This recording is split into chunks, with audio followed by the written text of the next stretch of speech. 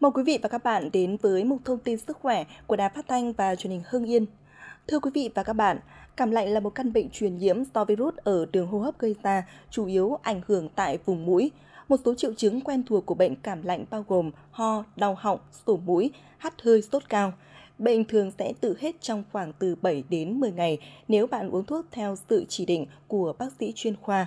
Tuy nhiên, bạn hoàn toàn có thể phòng tránh bệnh cảm lạnh trong mùa này chỉ bằng cách tuân thủ một số nguyên tắc dưới đây. Mời quý vị và các bạn cùng chú ý theo dõi. Thông tin được đăng tải tại trang Sức khỏe và đời sống của Bộ Y tế.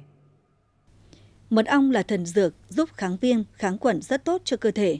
Vì vậy, nếu thấy có dấu hiệu cảm lạnh thì bạn nên chủ động uống từ 2 đến 3 thìa mật ong để bổ sung năng lượng và diệt khuẩn cơ thể tốt hơn. Thêm nữa, bạn cũng có thể pha mật ong với nước chanh ấm hay trà ấm sẽ giúp đẩy lùi nguy cơ mắc bệnh hiệu quả.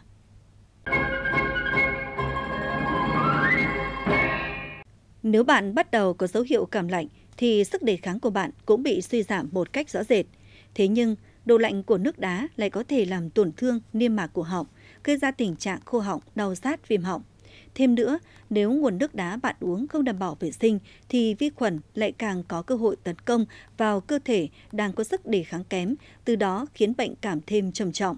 Vậy nên, khi mới chống bệnh cảm, bạn nên tránh xa nước đá lạnh ngay để trị bệnh cảm thuận lợi hơn.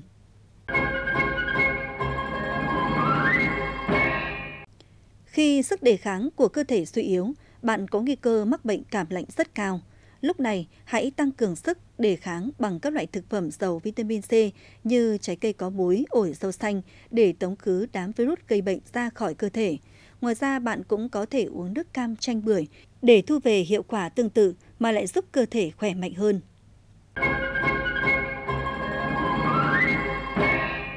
Nếu mắc bệnh cảm lạnh, cơ thể bạn cũng cần được nghỉ ngơi đầy đủ để phục hồi lại nguồn năng lượng đã mất.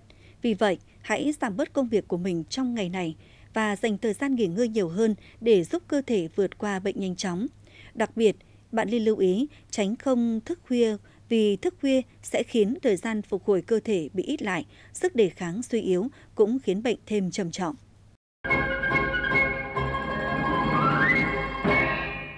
Bệnh cảm lạnh hoàn toàn có thể lây lan từ người này sang người khác rất nhanh nếu bạn đứng gần người mắc bệnh. Kể cả sau 2 tuần, virus cảm vẫn có thể phát triển âm thầm trong cơ thể mà bạn không hề hay biết. Sau đó, bạn nên tạo khoảng cách với người bệnh và luôn đứng cách ít nhất từ 1 đến 2 mét để phòng tránh nguy cơ lây bệnh.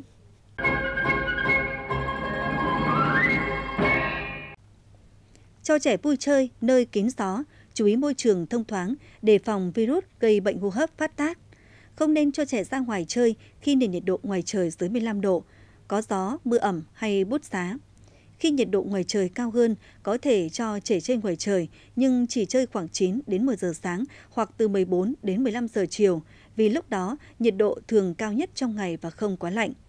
Thường xuyên kiểm tra nhiệt độ cơ thể của trẻ, nhất là ban đêm nếu cần đáp thêm chăn cho trẻ, nhưng không nên quấn quá chặt khiến trẻ khó thở. Giữ ấm cơ thể, mặc ấm, đi găng tất đầy đủ, đội mũ trùm tai, đeo khẩu trang để trẻ không lạnh. Đặc biệt là bàn chân, bàn tay, ngực cổ đầu, nhất là khi chở trẻ ngoài đường. Cha mẹ chú ý, khi trẻ chơi đùa mà toát mồ hôi, cần cởi áo hoặc dùng khăn mềm lau mồ hôi, vì nếu không sẽ rất dễ bị cảm lạnh, viêm họng, viêm phổi. Nếu trẻ có biểu hiện ốm, sốt, mệt mỏi thì không nên cho ra ngoài trời chơi.